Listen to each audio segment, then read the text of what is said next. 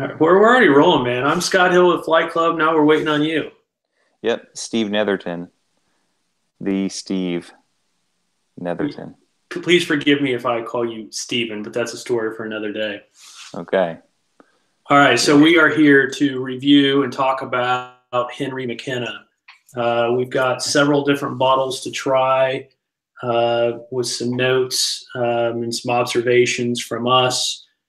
Before we do that, let's do two quick things. One, uh, I'll talk real quick about why we're here on Hangouts, and then I'll, I'll give it to Steve, and he can talk a little bit about why we decided to do a Hangout as relates to Henry McKenna. Uh, so we have a we have a blog, flightclubict.com. Um, chances are, if you're if you're watching this video, you're probably on our blog looking at our post on Henry McKenna. Um, so we're we're primarily bloggers. We do reviews. I do my own reviews. Stephen does his own reviews. Sometimes we get together and do reviews. Um, uh, when we're together and do reviews, we you know can compare notes. We can argue about some things, and we can finally reach a consensus. Well, a couple times we've tried to do uh, a review of the same bottle separately. We'll all do a review, take some notes, give him the bottle, and he does a review uh, most of the time, our notes are pretty close to one another, but there's times where we're just way off from one another. Uh, so we're going to try to do this now on Hangouts when we've got uh, the same bottle we want to review. That way we can kind of hash out our differences uh, here. So we thought this would be a, a, a, good one to start with. So, but I'll turn it over to you and tell you, and, and Steve can, can talk about why we're doing Henry McKenna. Well, we're doing Henry McKenna. I think you could say we're doing it for the mothers because this is Mother's Day weekend. And Henry McKenna, thanks to the San Francisco World Spirits Competition, is now the mother of all bourbon. So Henry McKenna, their bottled in bond, 10 year old single barrel bourbon, which has been uh, just known as a dependable mid shelf in the 30 to $35 range generally. Bourbon was named best overall bourbon, not best bottled in bond, not best single barrel, the best bourbon overall. And Fred Minnick, who uh, fancies himself as a as a connoisseur of many things, and rightly so, sort of spilled the beans before the official announcement by uh, declaring that this one was the winner. He was a judge at the competition. And I'm going to read an excerpt of what he wrote describing the uh, sample. And this is his description uh, from his blog when he was writing about the competition. And I think what he's writing here, and I want to about to read, is when he was sampling them blind. So all the judges, when they're judging all these bourbon entries, are doing so blind. Here's how he described it. He said, "Beautiful and complex." At 100 proof, it packed more flavor than anything he had tasted at that point in the competition, layered with toffee, caramel, almond butter, honey, and fried pie crust and it offered something special. So obviously, the judges and Fred Minnick knew some of the specifications of this bottle when they were judging it, obviously, not knowing the brand, not knowing the label, but how highly he spoke of it and how it ended up being, if you read his blog post, kind of the runaway winner was intriguing when you consider that this was something that was on the shelf um, in years past and is on the shelf presently at a very affordable price it's not a limited release offering, and yet it won best overall winner. And so we're going to review several different samples uh, of this because it's a single barrel product. There can be variation from bottle to bottle. So, Scott, if you want to go ahead and read out what the specifications are for the four different samples that we're going to try.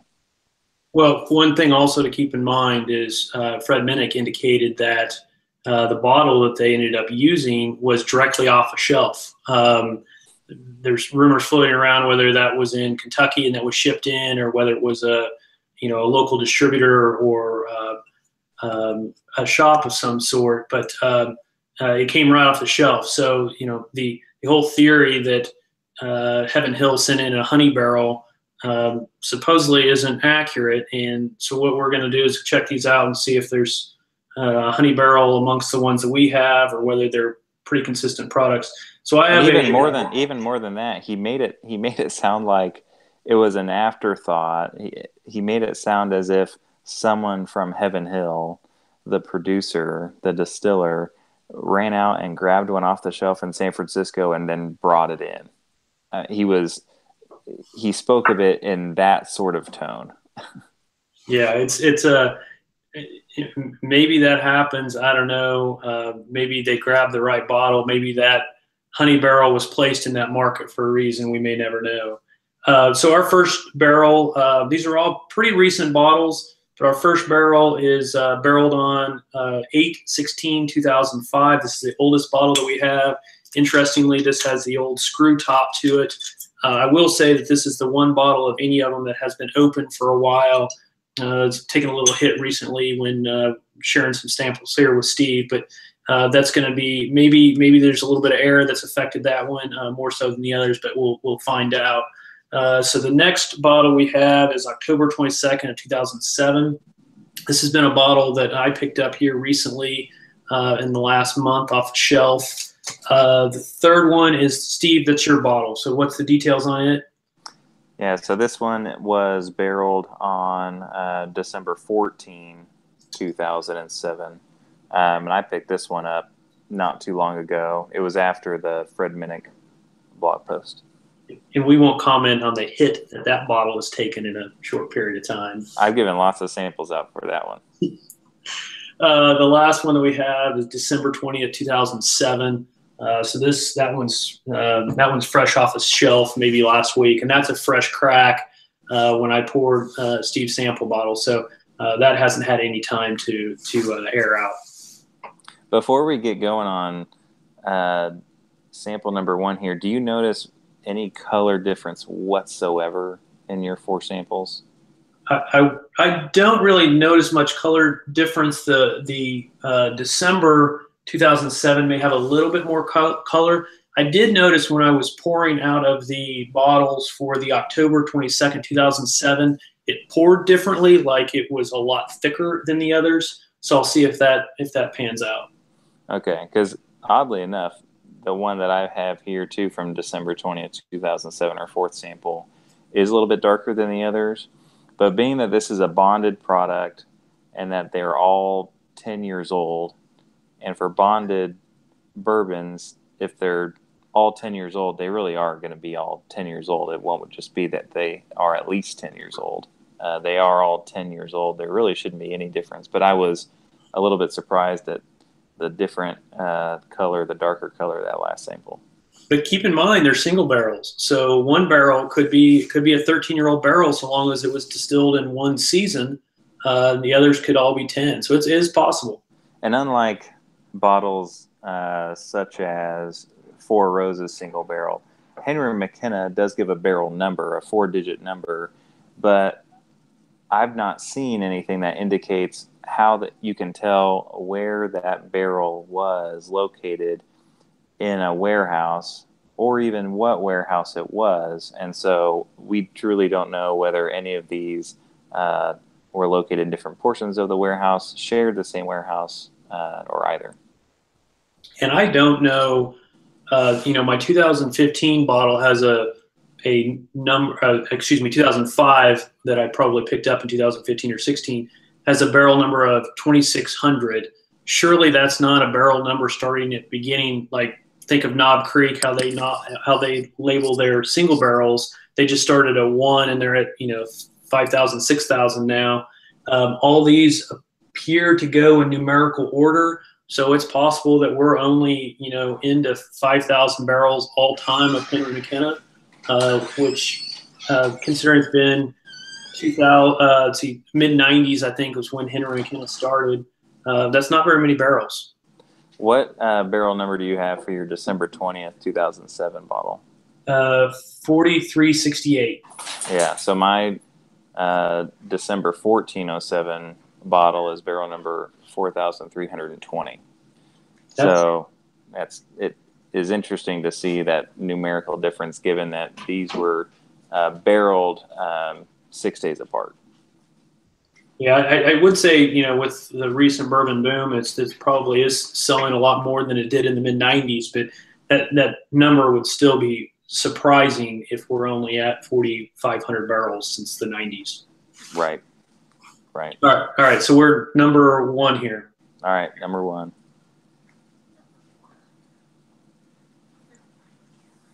It's it's incredibly sweet right up front. I mean that that sweet caramel candy is what jumps out immediately. There's a little bit of underlying fruit, a little bit of cherry maybe, but not much. Mm-hmm. A lot of spice. Off screen, my wife has just joined us and uh, is not holding back the snickering at all, which is why I've got the headphones hooked up so that that doesn't come through very clearly. I locked I locked the door so my family couldn't come laugh at me. So That was a good idea. there's a little bit of uh, of spice, and it's not like a rye pepper spice because I don't get, really get any rye to this at all. I don't think there's really much rye in this, uh, but more of like a, a a sharp oak spiciness. Yeah, and I get a good oak char scent too. Nothing nothing You wrong know with that, that scent that comes off like when you when you're scraping the grates on your grill a little bit. Yeah. A little pe- like peanut shell, not peanut so much It's maybe like I even thinking like almost salty peanut shell kind of thing. Mm-hmm.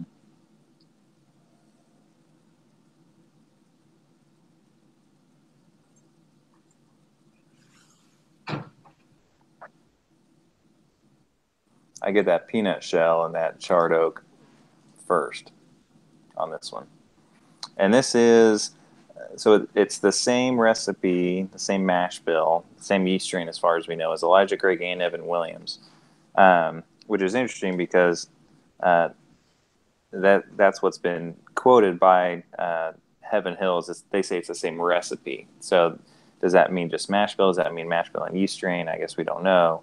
Uh, but saying it's the same recipe to me means it's both. Uh, they they share both of those qualities. Um, Elijah Craig to me has always been a little bit more fruity from Heaven Hill um, uh, than the Evan Ri- Williams, which I have always thought is a little bit more nutty characteristic.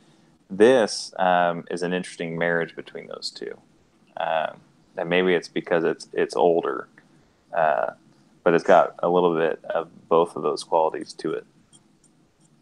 I- I would say for me, this falls closer to the Evan Williams. The Elijah Yeah. Craig for me has so much more fruitiness to it. The old 12 year had a lot more oak to it and fruit, dark fruit. Even the new non age stated hasn't drastically changed, but it's more of a fruit forward profile. This seems to be more of the oak and uh, soft caramel forward.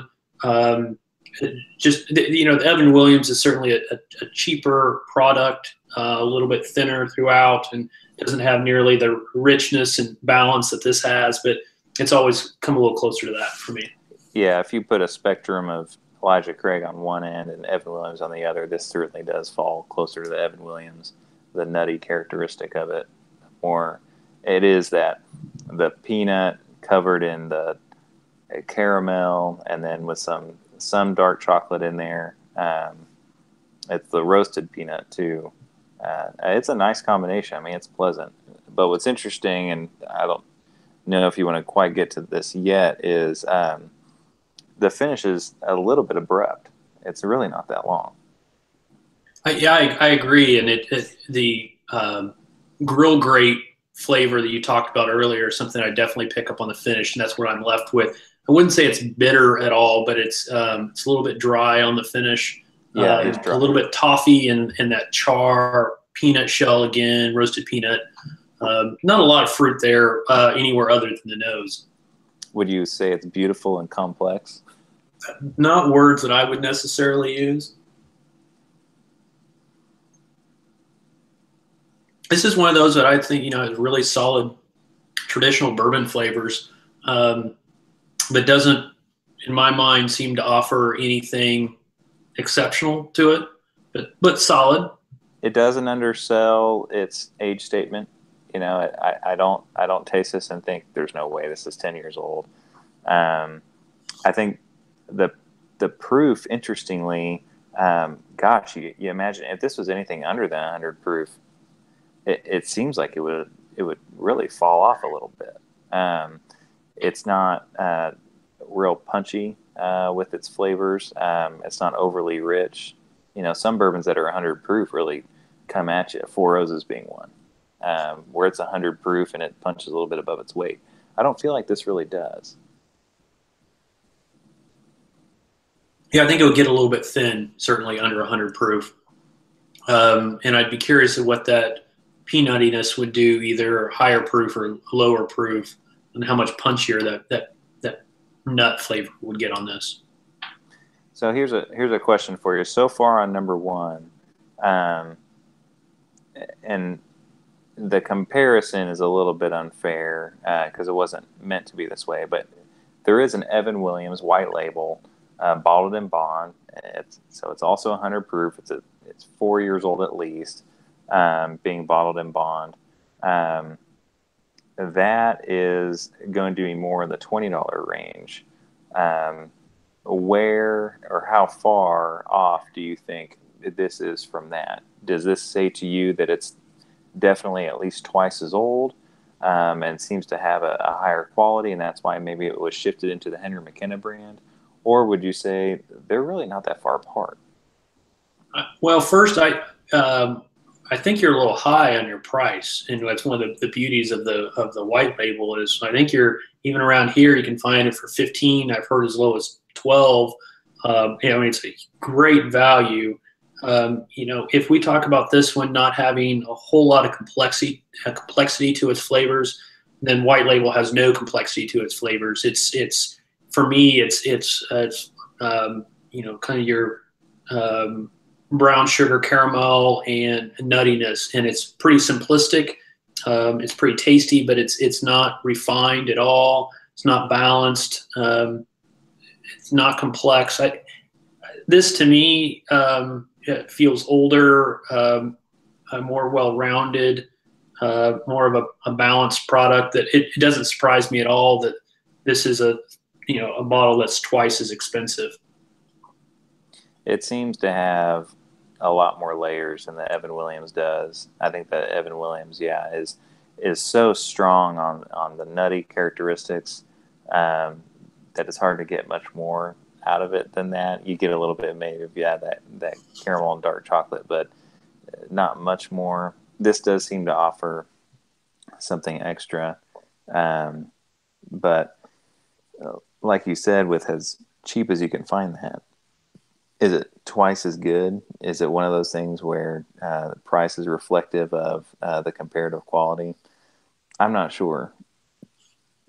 Well, that's a struggle for me with Henry McKenna anyway, because Elijah Craig I can usually find for uh, four or five bucks cheaper uh, than I find this. I know it's a little bit lower in proof, uh, but for me, if I'm staying in the Heaven Hill family, um, I'm, I'm probably going with Elijah Craig. I, I do think it's a better value uh, for a you know what may be probably a 8, 9, 10, 11 year product now, no, no longer a 12 year. Um, but I think it's a little bit better value. So I'm, I'm you know, you and I have talked about this before. I've never, I've not been the, the greatest Henry McKenna fan. Not that it's bad by any means. It's just that there's, even in the Heaven Hill family, you talk about the Evan Williams white label.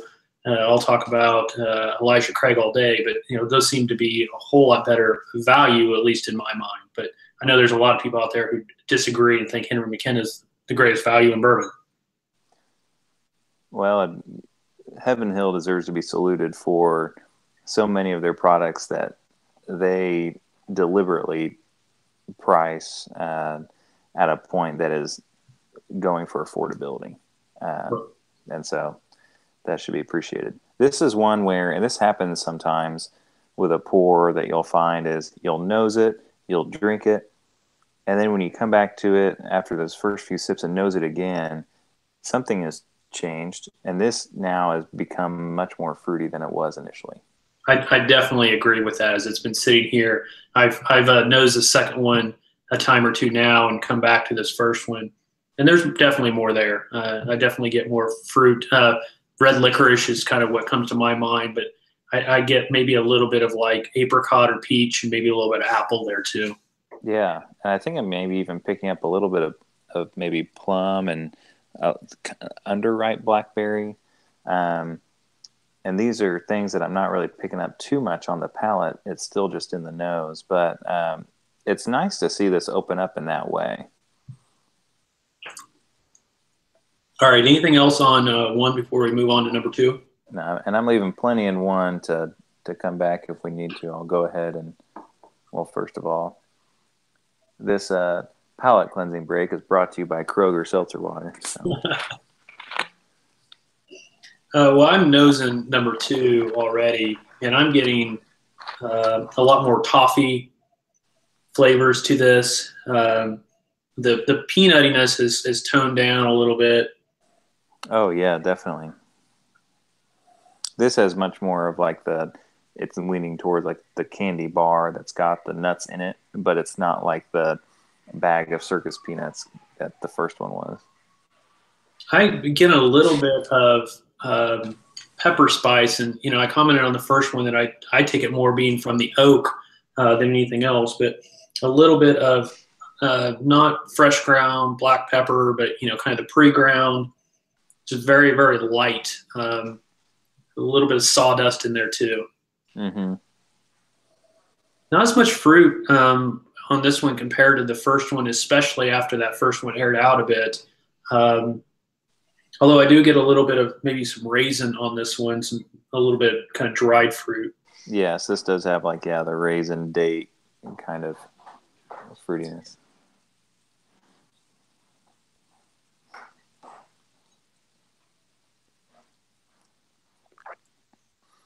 Interestingly, that you know you're picking up on that spice, but sometimes the bourbon when it uh, you try it initially on the palate can also almost have like a cooling effect. Uh, and, you know, these are all not uh, anything other than room temperature, obviously, but this one has that initial cooling effect, which is interesting. With I, which I think also um, is imparted by this has a much oily, more oily mouthfeel than the first one. Yeah, I definitely agree. I don't know if there's a maybe a mintiness to this. Um, hmm. I'm getting a whole lot kind of like that effervescent uh, mouthwash or or uh, toothpaste kind of you, you said kind of light your I mean Altoid kind of um, cools your mouth uh, essence to this.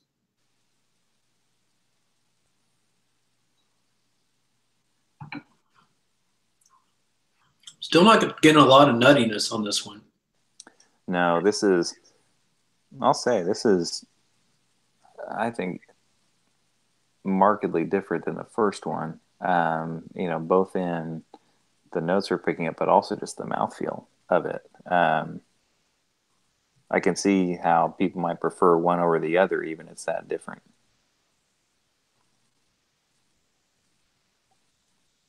It's got a longer finish, probably helped by the more coating mouthfeel on this one. Um, again, not terribly long, but it does stick uh, a little bit longer. A little bit of chocolate, maybe uh, kind of dry cocoa kind of chocolate. Not quite yeah. cocoa. Maybe even some like co- chocolate covered cherries. Uh, there's a little bit of fruit there in the finish. Yeah, the fruit decrescendos uh, throughout, uh, but it does remain for sure. Maybe a little apple flavor on this one. De- definitely a great mouthfeel on it. Mm-hmm.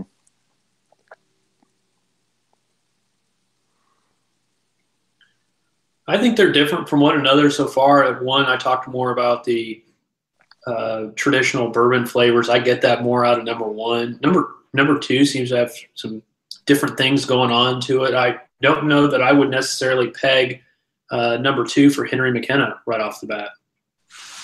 Yeah, maybe not. Um, it's interesting uh, how this one has much more of that on the the fruit on the nose, and then almost like the French silk chocolate kind of when you combine the the texture of it, and then uh, some of the flavors on the palate. Um, I get more vanilla out of this one too than I did the first one. So you know when we talked about the the Elijah Craig Evan Williams spectrum, on the first one how it was closer to the Evan Williams for its nutty characteristics. this doesn't seem to really fall on that spectrum very much. I mean, the nose has more of the fruity characteristics, but it's it's not something that you would definitely um, go ahead and group with an Elijah Craig or, or an Evan Williams. Um, this is nice. I, I like this one. Yeah, I'm picking up on a little like like suede leather kind of nose on it. Yeah, a little bit different than I'm not used to. I, I, I enjoy it. And while I'm going back, there's a little bit of almost like that nougat, uh, where you get a little bit of those sweet flavors and that combined nutty chocolate, um, a little bit of that, you know, that hint of something herbal. Uh, that's a good. This is a very well balanced, well-rounded. Um, it's inoffensive. It doesn't have anything harsh that jumps out either. It drinks a little bit under proof, but it's but it's still full flavored. Um, but it still doesn't knock your socks off. You know, it's not something that you would say, "Wow, this is a premium kind of offering." Um, but it's just solid. You know, I think that for this kind of bottle, if you're paying the the 32, uh, give or take a couple dollars retail price on it, you're feeling good about that uh, when you take this back when you take this back home. I agree. Uh, although I don't think I'm out there trying to find another uh, 39.91 barrel uh, because it's so exceptional at $32. I think, hey, let's let's try the next barrel and see what it has to offer. Just nothing that remarkable to me. Right. Yeah. I, it, it's certainly not that way. I, trying to think of the kind of cocktail that this would be best for too. Um, and I don't know. I mean, it, you can go a bunch of different ways. Uh, I mean, because it seems like it could be somewhat versatile. Uh, yeah, that was a good one. All right, uh, number three. We ready to move on? Yeah.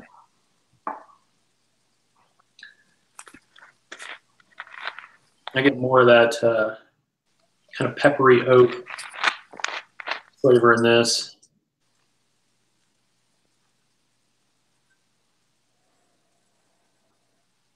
some dark chocolate maybe on the nose. Yeah, this has more of the like the the peppercorn kind of peppery flavor yeah. than the the pre-ground really fine kind of peppery you might get on a on a restaurant tabletop. And part of why we're doing this on on Hangouts is sometimes it's hard to convey in writing what we're talking about on pepper, the difference between fresh ground pepper and solid peppercorns. I I like fresh ground pepper from peppercorns. I don't like pre-ground black pepper. It's completely different flavor to me. This is this is a pleasing pepperiness to it.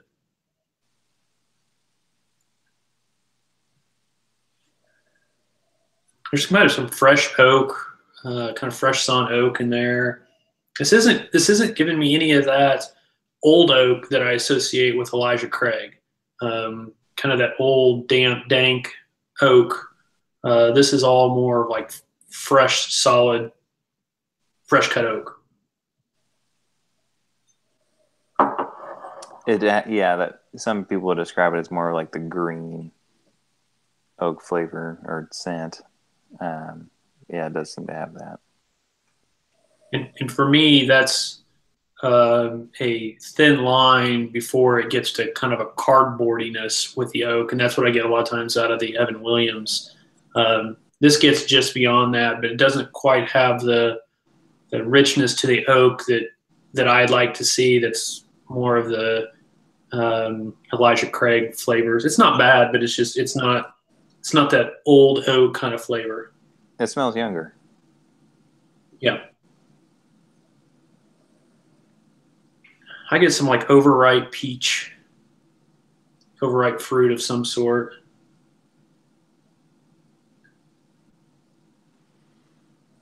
There's a little bit of ethanol on the nose on this one, a little bit of tingle. There's also a little bit of kind of cloying sweetness. Vanilla. Yeah, with that really highly processed white sugar sweetness. Yeah, I was thinking kind of like Demerara, that it's just you know barely a step off of that. Yeah, the, I get a the, the nose smells the the kind of sweetness feels a little bit watered down on this one compared to some of the others. It's good. It's I like especially that that pepper with the kind of balance as well with some of that sweetness, but a little bit a little bit diluted.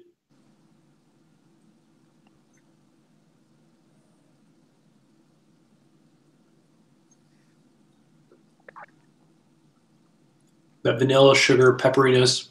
Yeah, it, it has that stinging, sugary feeling. Yeah, I, I, can see that that kind of white sugar flavor on this one. Uh, that's that is pretty sharp.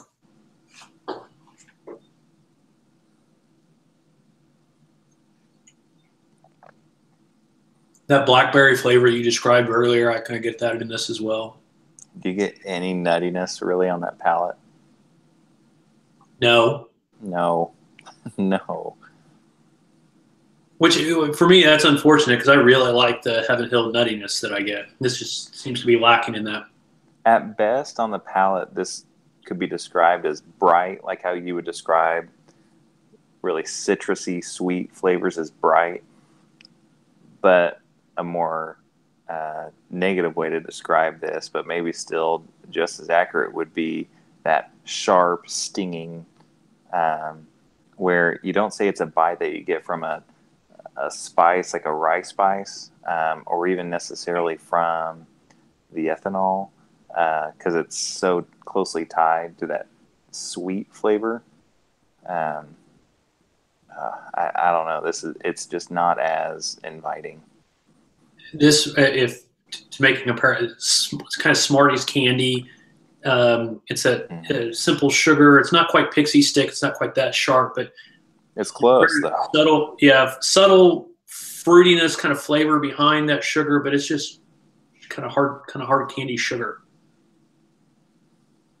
And it's very drying on the back end of the finish. I mean, just like if you were to have one of those candies and then you realize I need some water right now, it, it's very drying. Not a lot of change between the palate and the finish. Just no. kind of carries through for a while until kind of that dryness picks in. It, it, this one's easy to drink. Um, I, I I don't know that I enjoy it as much as the as the last one that we just had, um, but there's some good flavors in it. So what I ended up finding with this particular bottle is I didn't enjoy it neat as much, and then if I added ice, I mean I just lost too much. What I liked doing with this was using a little bit less sugar or simple syrup than I otherwise would, and then going a little bit heavier into the fruit, you know, like with the orange and an old fashioned, and that ended up complementing some of these flavors and notes better. And one thing about bonded uh, bourbon, particularly, is it does lend itself to good cocktails. Um, and this, I thought, was great for that. But then when you strip it all away and then you taste it neat again, I don't know. It so far out of the three that we've tried, it's my least favorite sample. But good point on the cocktail on this. There, there's nothing that would be offensive in a cocktail. There's nothing that's going to stand out and uh, ruin your cocktail. This is going to be solid uh, through and through, and, and kind of probably balance pretty well with whatever you put into it. But I agree, if you lighten up the sugar on this, it's got enough sweetness that that probably works well. All right, number four. Yeah, the one that was barreled just six days later.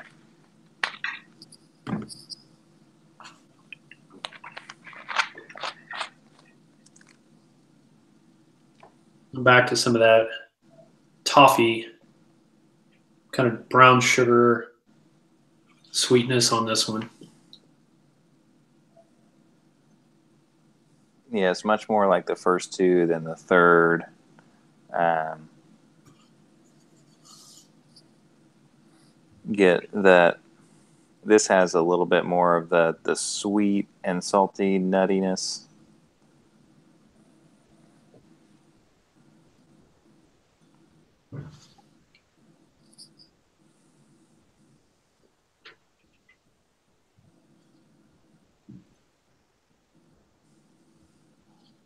This one has some pretty nice oak flavors to the to the nose, or oak smells to the nose. Yeah, almost. I mean, you get some of that where you would maybe uh, think it was more like cedar, uh, or like you said, sawdust earlier.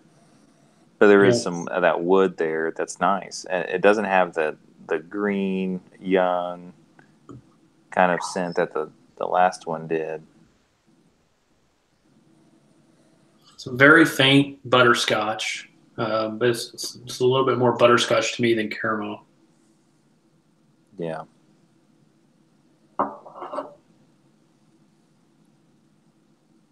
I, I, I like the nose on this one. hmm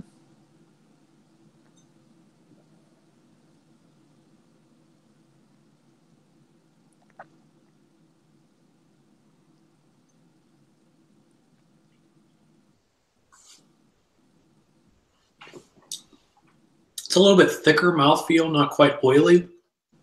It is thicker. I mean, you can almost chew on this. The chewiness continues all the way through the finish. Yeah.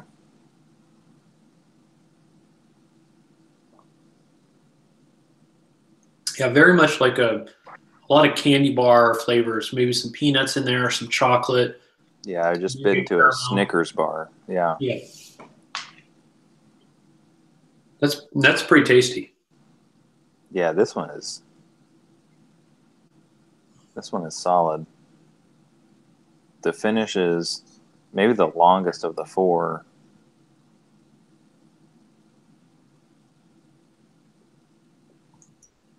There's some slight bitterness at the beginning of the palate, but that kind of fades away. to Like that what you get in like a really high cocoa content dark chocolate, you know, where it's like 70, 80%. Um, yeah. Yeah, definitely. Uh, it's not not a kind of tannic dryness, um, but it but it rounds out nicely. Some of those vanilla flavors, those caramel sweetness, nougat, whatever it's you guys. just, Yeah, it's just sweet enough to make sure that it, it doesn't go too far towards the bitterness to be off putting. There's a line of vanilla that really carries through from start to finish on this um, Mhm. that I haven't quite experienced in the others. That's that's pretty good. I get a little bit of that blackberry with this. I'm trying to pick up on other fruits, but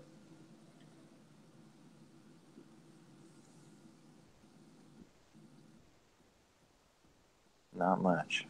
I keep coming back to apple, maybe a little bit apple skin, red apple skin on this. Yeah. a little bit, you know, I think kind of dry, um, kind of that waxy skin. That's a little bit what I'm getting on this one. Some there's some underlying pepperiness to this one as well. Um, Yeah, and it, it stays uh, maybe not muted, but just below the surface enough that it doesn't take away from some of these other flavors that we've been talking about or doesn't shroud them. Um, but it reminds you that yeah, this is this is a hundred proof. You know, it's and I think it it almost helps deliver some of those uh, those scents and flavors um, a little bit uh, more powerfully because it's there, uh, but doesn't distract from them. On the nose, you know, we talk about pepper and kind of fruit. I get kind of like some red pepper, fresh red pepper, kind of spice to the nose.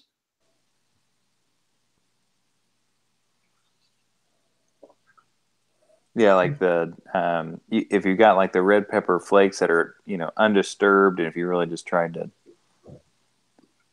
to smell them by themselves, that that it, it looked more so than the other three for sure.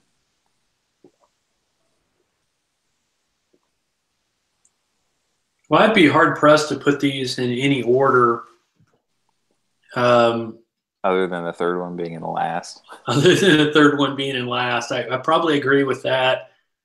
Uh, two and four seem to be kind of some front runners for me, um, but they're they're just ever so slightly edging out the the first one that we tried, and and even those two aren't like incredible standouts. That these are amazing single barrels. But if I had all four of them in front of me and I wanted to taste them, I'd probably say, well, you know, if you want to pour me a full glass, pour me a full glass of two or four versus one. Go back to number one and smell how much more of the vanilla that you get than you didn't get before. Oh, absolutely. Isn't that amazing? I mean, to the point where it's like the like a vanilla sponge cake kind of smell.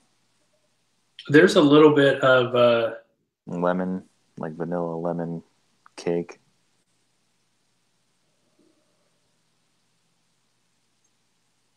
There's some baking spice in there too that I'm not quite placing.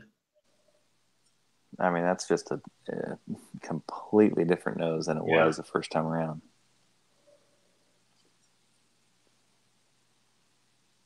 All right, so we've we've sampled four different bottles. Uh, do any of these stand out to you as front runners for whiskey of the year? No, um, I don't have the benefit of judging them blind against other entrants and doing them in one sitting. Um, but none of these have reached out and grabbed me in a way that um, your William LaRue Weller, George T. Stagg, or Midwinter Night's Dram uh, uh, or some of your um, sherry finished cask strength scotches would. Um, these still seem like, at best, they are the solid dependable value bourbons that when you want to go and get something where you know what you're going to get, it's not going to disappoint you. That's why Henry McKenna is there.